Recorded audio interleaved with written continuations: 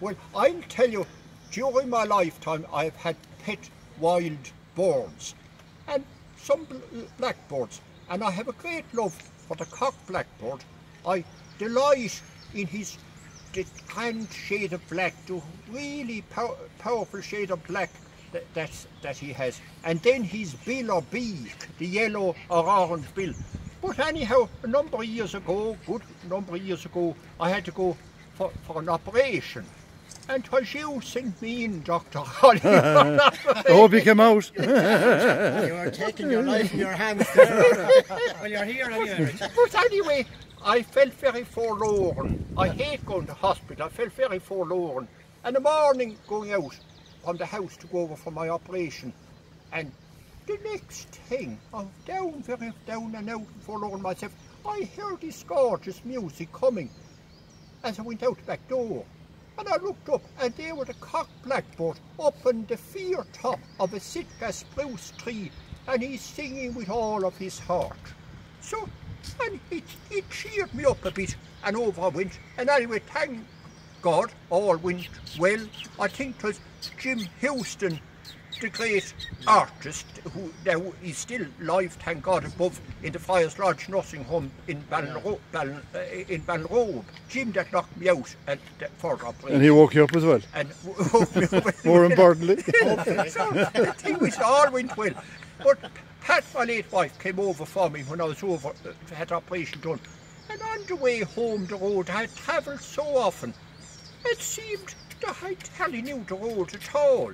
It all seemed strange to me. And coming into my own yard, I felt it was a strange place, as if I was never there before.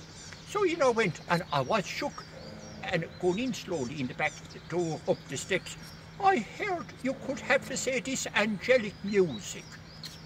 And I looked back the best I could, and there on the fear top again of the Sitka spruce tree was a cock blackbird, and, and his golden bill pointed toward the heavens, and he sing with all of his heart again. And at that moment, in I went, the whatever spell or whatever had come upon me broke, and I went in slowly but triumphantly in the back door of my house at the sound of the cock blackbird. So that's the little, in, the little incident now that I had uh, uh, with the cock blackbird. But during my life, I've had different pets, chaffinch pets and different ones. So I will will, I do a little poem now? is About the blackbird. About the blackbird. Well, I have a few lines here about the blackbird as well. He comes on chosen evenings, my blackbird, bountiful and sings over the gardens of the town, just at the hour the sun goes down. His flight across the chimney thick, by some divine arithmetic, comes to his customary stack, and couches there his plumage black. So I there's another little bit left in it, but I can't for fear I go stray. I know that much head on, but that And- will will settle the little poem at, at, at that Jim. for the blackboard. Beautiful. So I hope you enjoyed it. Yeah, now well, that well, that was- this beautiful one that Hi, Jim. Jim is going to give us a now now. mighty Jim will have. Blackbird singing in the dead of night. Take these sunken eyes and learn to see.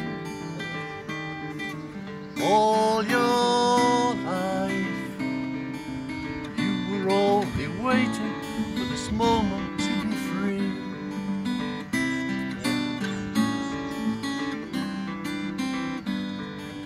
Blackbird singing in the dead of night.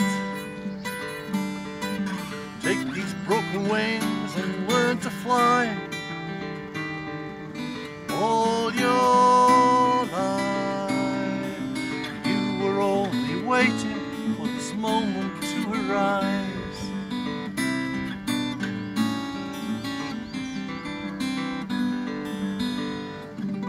Beautiful. Beautiful!